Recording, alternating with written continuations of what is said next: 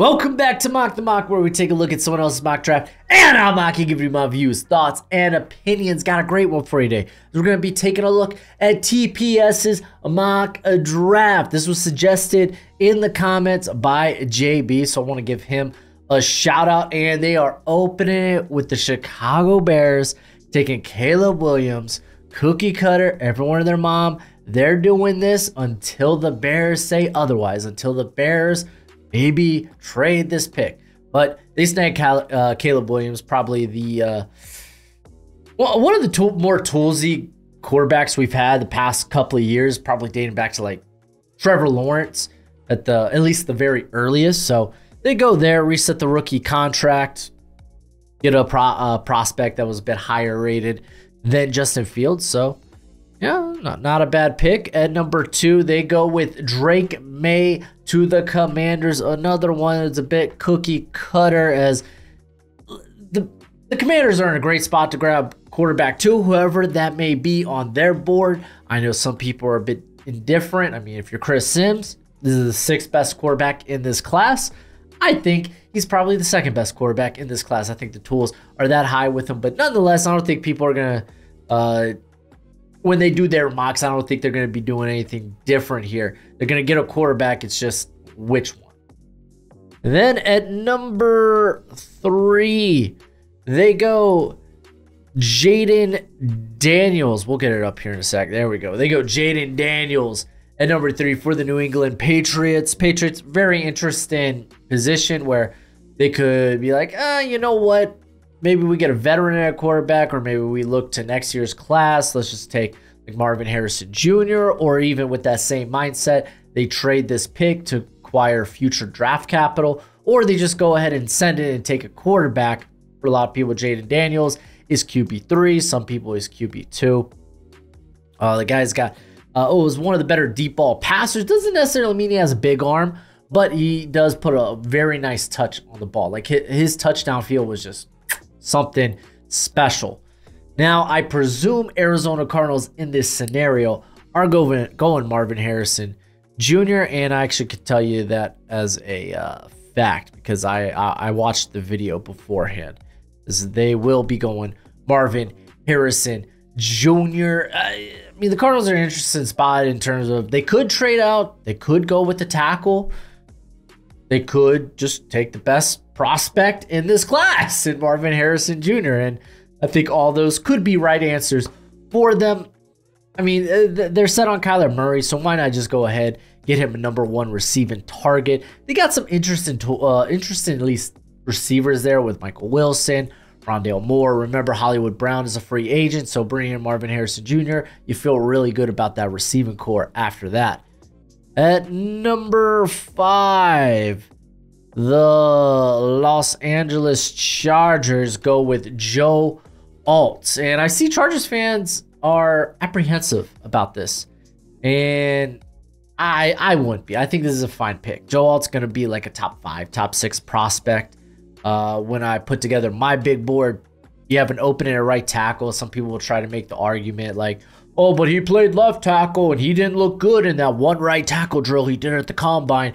But it's like, listen, if you're drafting a tackle in the top 10, you probably have a little bit of confidence that he could play either right or left tackle. We've seen this done many times before to great success. Penei Sewell, uh, Tyron Smith, uh, Andrew Jackson, even though he was a late bloomer, or Orlando Brown. Like we've seen it done before. So don't get, I wouldn't get hung up. If you're taking a tackle inside the top 10, you probably think he could play both tackle spots. Uh, I, I, would probably still lean Malik Nabers because he's higher on my board. Adding that receiving threat just feels really, really fun. I honestly think the best thing the Chargers could do probably is trade out of this pick, though.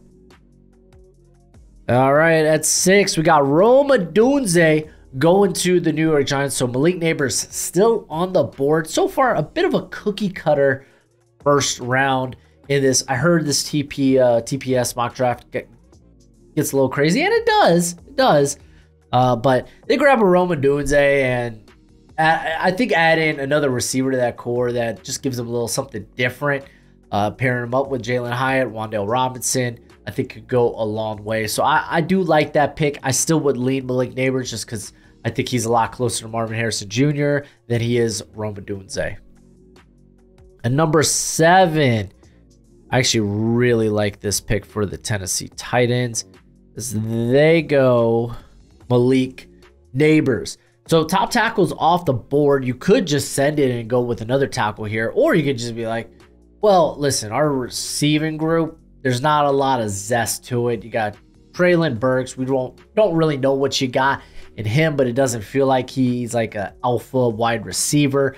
You have Nuk Hopkins, but he is kind of in the twilight of his career at this point. So add in someone who could who, who could create that separation vertically, who could win at all levels of the field, who is a monster after the catch, does add that a gusto to the wide receiver core. Now it just begs the question, will the tackle class fall in such a way that they, they will have a good options in round two? And I mean, honestly, they could even go with offensive interior. Maybe they want to just send it with uh, like uh, Nicholas Petit Frere and Andre Dillard next year. Ugh. Ugh, I almost threw up in my mouth just saying that. All right, at pick eight, we got Dallas Turner going to the Atlanta Falcons. There we go, got it up there. And yeah, this is fun. This, this if all if the top three wide receivers are off the board and you can't make that sexy pick, send it. A lot of people anticipate Kirk Cousins is going to be an Atlanta Falcon. We'll see. That is yet to be seen. But Dallas Turner, they need edge help. Raheem Morris probably looking at that edge group like, uh, yeah, we need to do something about this. Dallas Turner would be a really good fit in Raheem Morris's defense. But before we get to pick nine, I want to let y'all know if you want to know more about the NFL draft, I got a draft guide. It's over 400 players deep, full evals. It's got all the combine times. But why listen to me when you can hear it from me? Listen, I know you love the NFL draft as much as I do, and you're going to want a nice hefty watch list of players during this college football season, well, go ahead, check out my draft guide. You can purchase it for only 30 bucks by Venmoing or PayPaling me. Links in the description. It's a one-time payment and you get it for this whole draft cycle and forever and always, technically. It's a Google spreadsheet, so send me your email when you send the payment. I'll get you hooked up. You will see my current prospect rankings and big board, my full evals. And guess what? It updates throughout the whole draft cycle. So it's a great purchase and it's a great way to support the channel. At number nine, the Bears go with Brock Bowers with their second pick, and I don't love this. I don't hate it, but I don't love it. I mean, with the Bears needing pass catchers, uh, you you could run a like a two tight end system where you could kick like a Brock Bowers out in the slot. And you could get creative with it. So I'm not. I guess I'm not terribly against it. Brock Bowers is probably the top prospect on my board at this point. So the value would be right, but I really would want another receiver. It's just, again, it looks like those guys are going to be off the board by the time the Bears pick at nine, unless they want to trade up, but they don't necessarily have that draft capital. It's not like they have second rounder this year. So it's kind of a weird situation for the Bears. But uh, Brock Bowers, I think I'm, I'm more okay with him uh, here at nine. I think uh, you could make an argument at seven with the tight ends. That kind of begins where Brock Bowers could come off the board. I don't think he goes any higher than that, though. At number 10, New York Jets get Olu Fashanu. And uh, yeah, he's got small hands, but he is a hell of a pass protector. And you want to protect Aaron Rodgers, I think this is a solid pick. You could go Talanoa of Fuaga. Uh, you could go maybe a Troy Fautanu, a Marius Mims. Uh, I mean, I think the Jets honestly probably could trade back and feel good about whoever they get at tackle. And that would work out because keep in mind, the Jets, they're not working with a second round pick this year either after the Aaron Rodgers trade. So if you could recoup some draft capital, might be a bit ideal. But uh, Sean, you, I'm not worried uh, about the hands. I'm not. I mean, is he going to be a great run blocker? Probably not. Maybe it's something to grow into. Uh, but we, we've seen him kind of like struggle with like power, or at least versus power. Uh, you go back to like that Ohio State game. Pick 11. The Minnesota Vikings take Latu listen. You're worried about the medicals? I wouldn't be. The Washington Huskies, they were the only team doctors that didn't clear Laiatu to play. Like everyone else and their mom cleared him to play, and that's why he was such a hot, like hotly sought out transfer at the time a couple of years ago. So I'm not worried. Nothing came out about the medicals at the combine, so it, it's a non-factor for me. The length, yes, it's less than ideal, but he is probably the most technically put together pass rusher in this class. He tested out fine enough, much better than I anticipated. So him going to the top 20, it, it feels like a no-brainer at this point. But uh, again, good players fall in the draft. And if I'm the Vikings, you got to have some sort of plan at quarterback, right? If Kirk Cousins isn't coming back, because I mean, if he doesn't come back, then I mean, then what's if he does come back, what is Atlanta doing? Does that mean they do the Justin Fields trade? I don't know. Again, a lot of these answers will come next week when free agency begins. Let's go ahead to number 12 as Sean Payton and the Denver Broncos select JJ McCarthy. He's going to go a lot higher than where he is on many people's boards. He's got all the tools. He is a charisma magnet. He interviewed exceptionally well, no surprise. Is he a finished prospect? By no means. I don't think he should go somewhere where he probably will be asked to start right away. I think that might be a recipe for failure. I mean, this is a cat. I don't. I don't want to see him at the earliest. I want to see him at like like week nine, week ten. You know, get get him into the NFL an NFL weight room. Get him in, get him acclimated to your scheme to where you feel confident about him. And especially if you're going to a team like the Broncos, who are shedding a lot of cap, while the offensive line is still pretty good there. Uh, they could lose weapons like Courtland Sutton, Jerry Jeudy. So then who is he thrown to? Marvin Mims? I don't think Sean Payton likes Mar- Marvin Mims. Wish I saw him on the field more last year. But yeah, you don't want to put him in a situation where uh, he could lose his confidence because that could be just detrimental to a quarterback. Pick 13, Las Vegas Raiders go with Terrion Arnold. Every, how how analysts talk about him, I feel like he's going to be the top corner on the board, even though he or top corner off of the board, even though he isn't going to be my top corner in this class. I get it, man. You, you like the length, you you like the just the athletic ability. I know people are gonna be like, oh, he ran a four five, and it's like I really think where he's gonna clean up though is in that three cone short shuttle uh, where you're going to see that short area quickness, that agility, and a guy that could probably start slot or outside really with no problem. Just needs a little bit more polish to his game. The Raiders, they'll be looking to add another corner, whether it's on the inside or the outside, because Nate Hobbs, he can do both of those things. So you can really put Arnold wherever he feels best. Uh, Raiders, I mean, you would love to see them get a quarterback, but I feel like they're probably going to have to go with free agency to do that. Or maybe they just ride the Aidan O'Connell train this year, see how it goes. Talanoa Fuaga, Fu, Funaga, Fun, Fuaga. There's like a silent N in there. I don't know why, but regardless, Fuaga is a really good pick here for the New Orleans Saints. You don't know what's going to happen with Ryan Ramczyk and his knee. If he gets a clean bill of health, uh, then I think I'd rather have the guy that played left tackle in Troy Fautanu, who could play left tackle or left guard. I think that might be the better fit, even though Fuaga is going to be higher on my board. But tackle kind of feels like the pick for the Saints. Uh, Jared Verse still on the board, by the way. Indianapolis Colts go with Quinyon Mitchell. I love that pickup. Just keep getting young talent, get talent, get depth, get competition in there for the corner position. You don't want to just go into next year with Juju Brents and Jaylon Jones and say those are the guys. No, keep adding to it. You don't know if uh, don't know currently if they're going to bring back Kenny Moore. I feel like Kenny Moore wants to come back, but it's going to have to be at the right price. Which I mean, the Colts got money; they can do that. But Quinyon's been a guy that's just has had a meteoric rise through the draft process because I mean, you all starts at the Senior Bowl. You want to see how he does against NFL competition against these Power Five guys, right? And he ends up looking. He's the best player at the Senior Bowl. tests really well at the combine, looked smooth in the drills. Probably going to be my corner one, man. He's had a phenomenal process.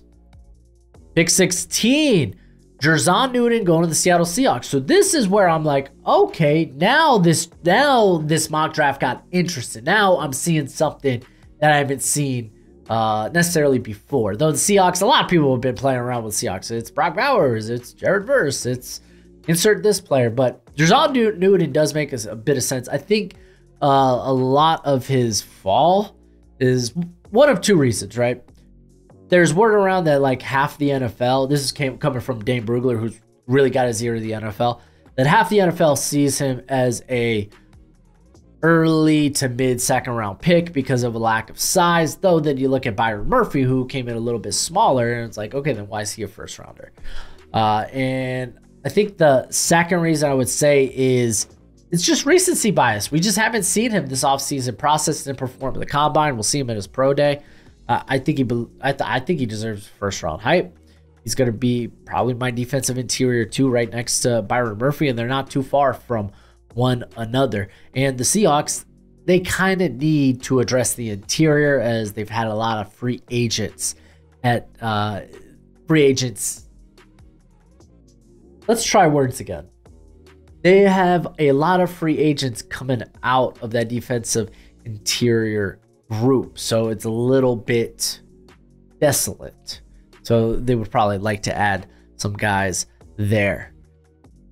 I do imagine, though. Do imagine they bring back Leonard Williams, though. I, I, we'll we'll find out again. Again, next week's gonna answer so many questions for us. But before we get into pick 17, let me give a shout out to Underdog Fantasy. Thank you for being the sponsor of today's video. If you like to bet on weekly best ball, or if you like to do pickups higher and lower on player props, then check out Underdog Fantasy. They don't just do football, they do all kinds of sports, even the esports. But if you sign up using promo code BROSHMO, they will match that first deposit up to $100 reduce. So remember, if you're going to sign up, use promo code BROSHMO and they will match your first deposit up to $100 reduce. But please bet wisely, responsibly, be smart. Let's go ahead, get into pick 17. As JC Latham go into the Jaguars. This one, I was like, okay, now things are starting to get a little bit more interesting in this mock. Because I've kind of tabbed it where, like, for the Jags, it's wide receiver or corner. Like, Brian Thomas feels like a really good, really fun selection here. Or, I mean, JC Latham, not bad. You plan on playing him to guard early. Uh, are you going to move Anton Harrison to left tackle, which I think is fine. But, I mean, they're going to be keeping Cam Robinson. So it's like, I feel like this pick is for Latham to play guard right? I don't know. I don't know. I found it very interesting. All right, we got the Cincinnati Bengals. They go with Nate Wiggins. So a little bit more of intrigue going on here. They do have uh they got Awuzie as a free agent.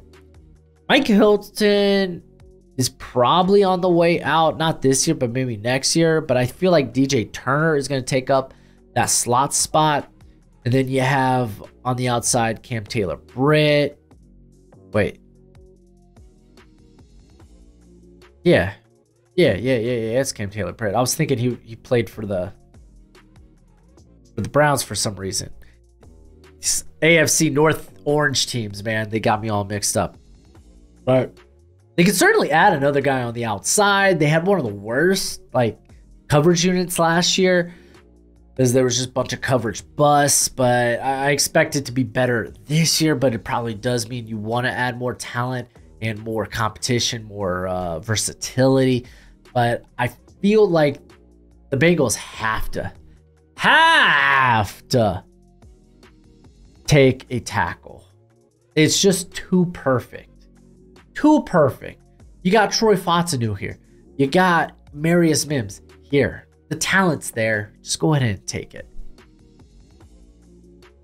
Pick pick 19. We got Bo Nix going to the Los Angeles Rams. Here, let me get it up here. There we go. Bo Nix going to Los Angeles Rams. This is the second time I've seen it in a mock this week.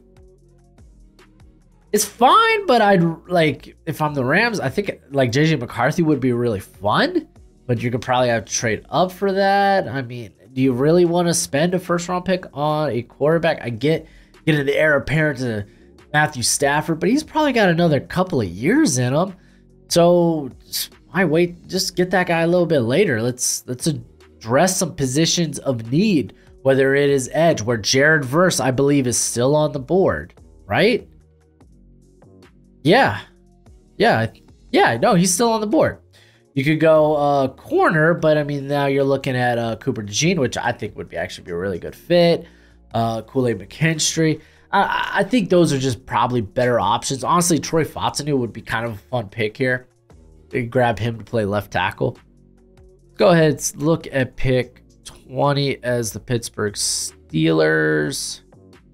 Go with Cooper DeJean. I like this, man. I think this is a really good fit. They just released Patrick Peterson earlier today. So you're going to be looking for that corner opposite of Joey Porter Jr. Cooper Jean, I think uh, once he has his pro day, whether it's at Iowa or one he has to set up himself, because uh, he's currently rehabbing from the broken leg, uh, I think it's going to be a-okay. I think it's going to be great. I think we're going to be like, oh, that's right. He is a top 20 pick.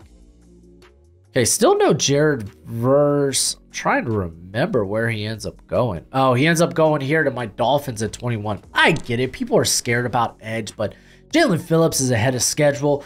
Bradley Chubb probably won't be ready at the very least until like early in the 2024 season. I think this you need to take offensive line. I actually would really like Troy Fautanu here. I would like Jackson Powers Johnson here, one of those two guys, because the offensive line is just so meh right now for the Miami Dolphins. But you can't deny that the value is there to take a Jared Verse who is just sitting here waiting for you. And I get, man, man, like you can look at like Bradley Chubb could be a cap casualty next season. So could be looking to the future there. So, I mean, I get it. I understand it. Uh, Chop Robinson going at 22 to the Philadelphia Eagles. Hey, man, it's just a fact. The Eagles, they they they don't draft for need. They they they address a need before it becomes a need. They are constantly looking to the future. Chop Robinson is a guy that they could probably develop. Uh, I don't know what Sweat's contracts like, but I mean, they probably would like a little bit more depth there at the edge position. I think tackles in play just because, again, the Eagles, they address a weakness before it becomes a weakness. They address a need before it becomes a need. They continue to make a strength a strength. You would love to see them go corner. Uh, it really kind of depends how do you feel about corner five in this class at this juncture. So I don't know, man. The Eagles really are at liberty to do whatever the hell they want. Pick 23.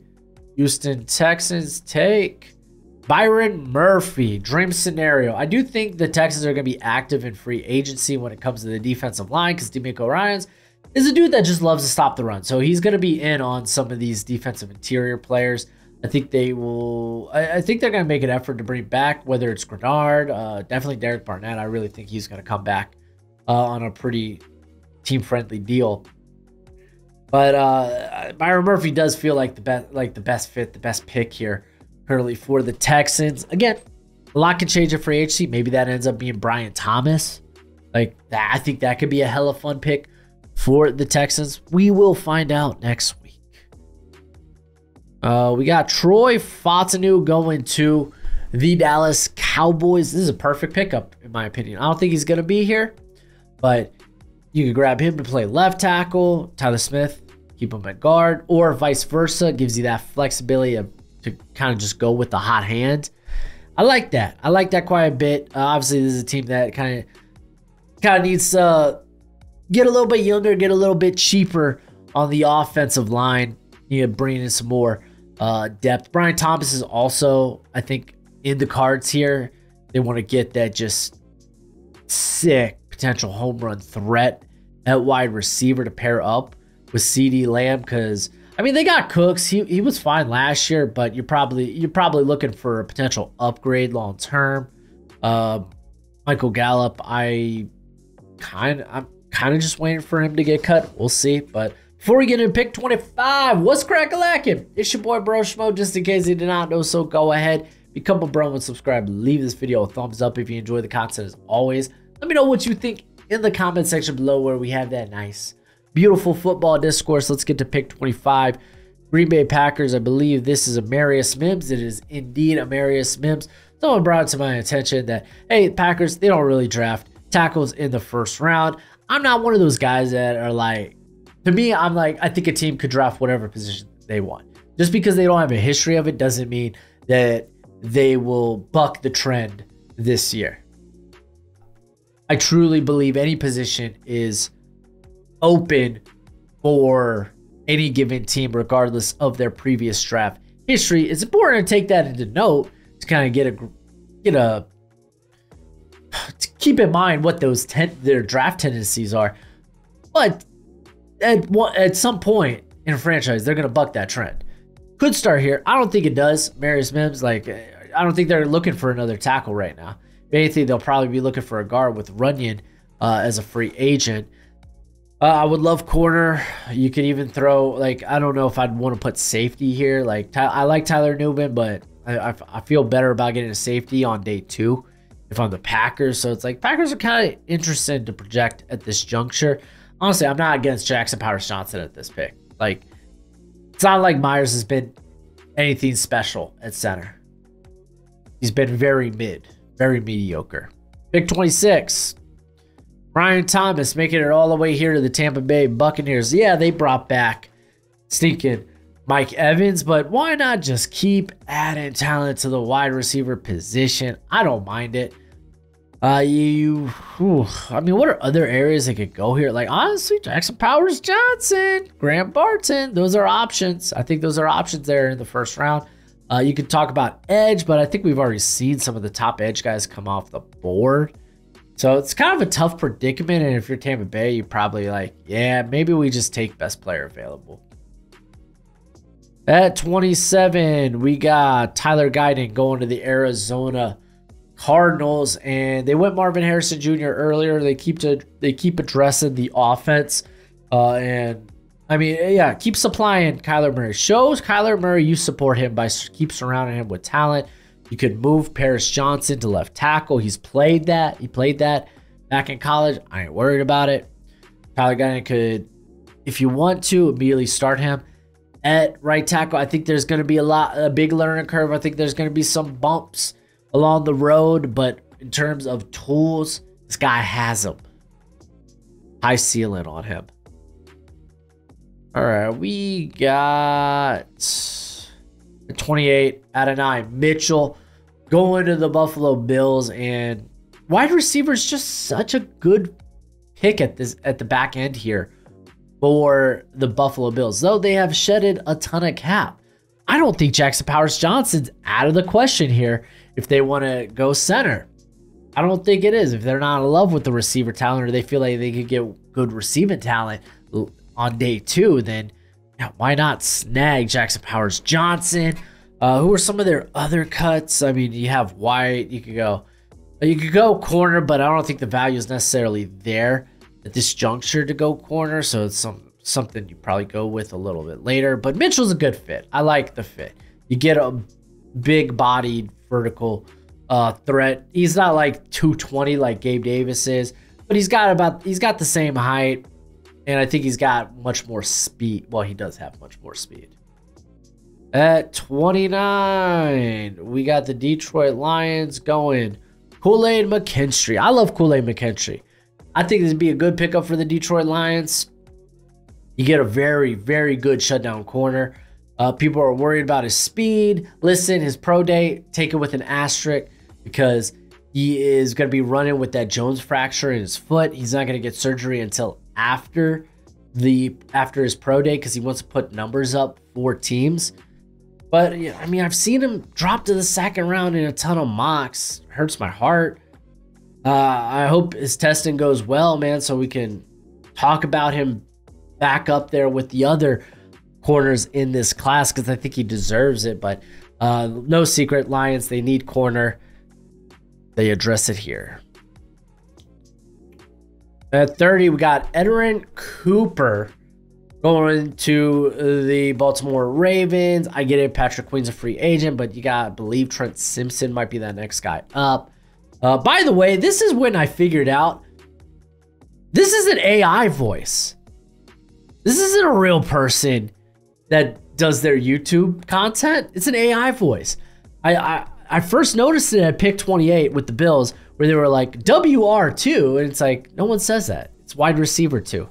And then they how they pronounce like certain names like like Ed, Edgarin like I, I don't know. You could go back listen back but this is it's 100% an AI voice. This ain't a real person. This ain't a real it ain't a real person. Someone wrote a script and the AI's reading it we got uh yeah I mean they could go here I mean I think they could go a variety of different spots I I think is they, they could be a prime candidate to trade down uh, I think, I mean, the Ravens, they've never been afraid of drafting less valuable positions. And, uh, but I, I'm, I don't know, man. I, I don't, I don't have a round one grade on a linebacker in this class. Bralen Trice going to the San Francisco 49ers. I think Bralen Trice is about to fall, fall, fall. On the 49ers, I'm probably going to want to address offensive line here. Graham Barton, Jackson Powers Johnson feel like great picks. Here, uh, Trice just coming in like almost 30 pounds lighter and then honestly not running that impressive. Uh, wasn't a fan, dude. Wasn't a fan. He's probably going to be in that like midday two conversation at this juncture. So, yeah, not, not, to me, not a great pick. All right, how are we going to finish this draft off with Keon Coleman going to the Chiefs? Obviously, they need wide receiver. So, it's basically a spot where you get into your mock draft and you just insert wide receiver here. Could be Xavier Worthy, could be Keon Coleman, it could be really whoever the heck you Ladd McConkey, could be whoever you want. Insert your favorite receiver, your top receiver on the board here for the Chiefs. But that's it for the video. If you want more draft content or if you want, shoot, you want to learn a little bit about free agency, I'll put those videos down here for you. Let me know what you think in the comment section below. And as always, until next time, you be easy, my friends. Later.